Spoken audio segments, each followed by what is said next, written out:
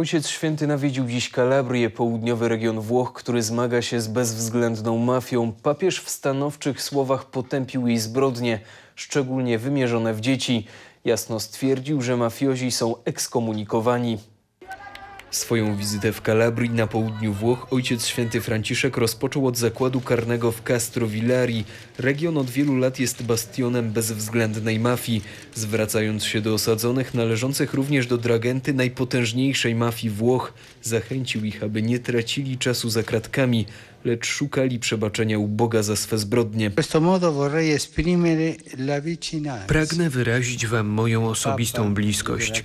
Kościół jest blisko wszystkich mężczyzn i wszystkich kobiet, którzy są w więzieniach w każdej części świata. in ogni parte del mondo. W więzieniu papież pocieszał jednego z osadzonych za narkotyki. Jego trzyletni syn Koko i ojciec zostali zamordowani przez mafię.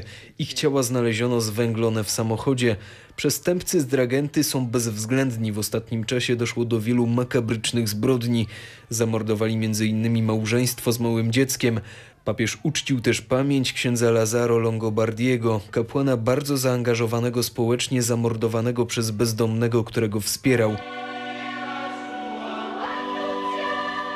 Głównym punktem pielgrzymki Ojca Świętego była msza święta w Casano a Lioni. Ordynariuszem tamtejszej diecezji jest ksiądz biskup Nunzio Galantino, który został sekretarzem generalnym konferencji episkopatu Włoch. Homilii Ojciec Święty stanowczo potępił mafię i jej zbrodnie, szczególnie na dzieciach. Mocno podkreślił, że ci, którzy w swym życiu obrali tę drogę i są mafiozami, nie są w komunii z Bogiem, są ekskomunikowani.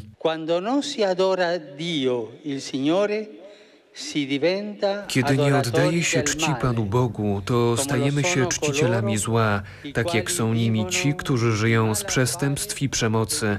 Wasza tak piękna ziemia zaznaje znaków konsekwencji tego grzechu.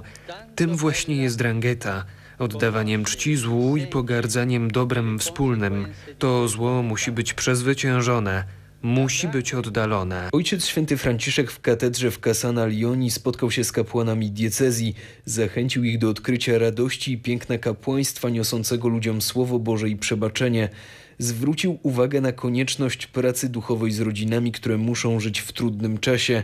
Ojciec święty spotkał się także z ubogimi oraz młodymi pensjonariuszami domu terapeutycznego wychodzącymi z narkomanii. Spożył z nimi posiłek, odwiedził również hospicjum dla osób terminalnie chorych i dom spokojnej starości.